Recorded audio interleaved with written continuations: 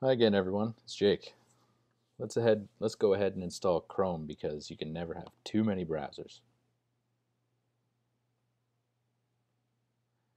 Open up your browser, like Firefox, and I'm using DuckDuckGo to find it.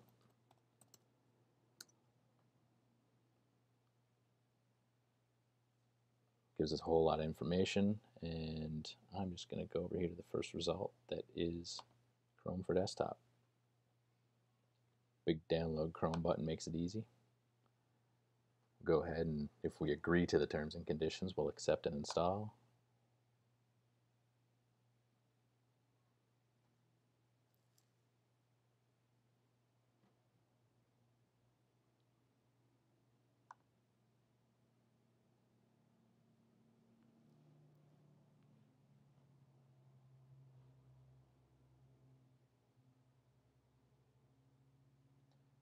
Go ahead and open the DMG to install it.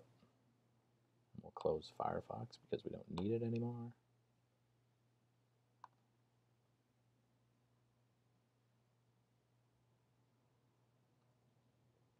It's super easy to install. All you gotta do is click and hold the Chrome icon, drag it down to the applications folder, and watch it install.